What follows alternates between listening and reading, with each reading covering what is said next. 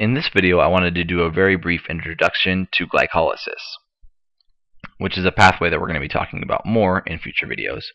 Um, so what is glycolysis? Glycolysis literally comes from glyco, which you know implies a sugar, and lysis, which means to break up. So basically glycolysis means splitting sugar. Which sugar in particular are we splitting? You probably already know this. The answer is glucose, which is a six carbon molecule. So is this process process aerobic or anaerobic? Um, what we'll find out is that this process, well, first of all, what is aerobic? Aerobic means requires oxygen. Anaerobic means does not require oxygen. So glycolysis is actually an anaerobic process because no oxygen is required for glycolysis to occur. Okay. Um, how many steps is glycolysis? There are actually 10 enzyme catalyzed steps to glycolysis. And the way I kind of think about it is there's there are two phases, one being the uh, the investment phase, the second being the payoff phase. Um, so glycolysis' first five reactions would be considered the investment phase, in which we invest two ATP, right? So normally when you invest anything, right, if you invest money in a particular company or idea or something, you expect some sort of return, right? And you expect the, and hope the return is larger. So in the payoff phase, which is just the second five reactions of glycolysis, we actually make a total of 4 ATP. So if you think about that 4 minus 2, we actually net 2 ATP. So part of the reason of glycolysis, part of the purpose of glycolysis is to, is to create ATP. But in, in just a moment, I'll mention a few other things that um, glycolysis is important for. Um, we have to be uh, keep in mind where in a cell does glycolysis occur. Glycolysis occurs in the cytosol, right, or the cytoplasm. So it does not occur in a in a membrane-bound organelle. Other pathways, it's important to keep in mind where these pathways actually occur, and I'll get to that later, but bear in mind that glycolysis occurs in the cytosol. Now, um,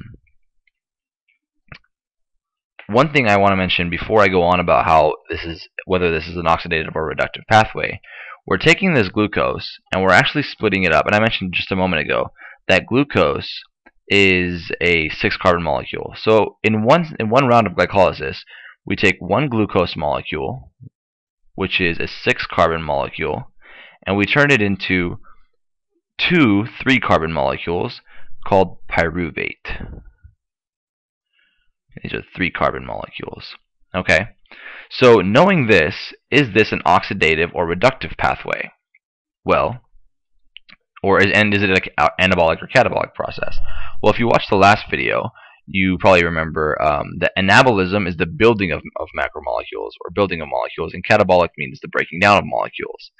Um, so in this case, we're taking glucose and we're making it into 2-pyruvate, two smaller components. So this will definitely be a catabolic pathway because we're breaking something down. Now, if you recall, I mentioned ARCO, right? And ARCO is just a short acronym to help you remember that an anabolic process is reductive and a catabolic process is oxidative. So this this process is an oxidative pathway. So it's an oxidative catabolic process. Okay, and it's catabolic because we're taking glucose and we're breaking it down into a simpler component. Now, if we start off with one glucose molecule in glycolysis, and that go that one glucose molecule goes all the way through, what do we net in terms of products? So what are the products of glycolysis given one glucose molecule?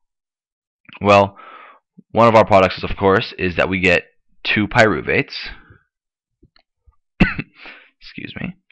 We get two pyruvates, okay, and we net two ATP. In addition, we also create two NADHs. Okay, so what is the point of all these different things? The pyruvate has um, different possible fates. Um, let me note that here. The, um, depending on whether or not there's oxygen available, which I'll get to later. There are many different fates possible, not fats, fates possible for pyruvate. It can go on to the TCA cycle or it can be fermented, which again we'll talk about later. 2-ATP, which of course can be used for energy, and two NADHs, which are supposed to go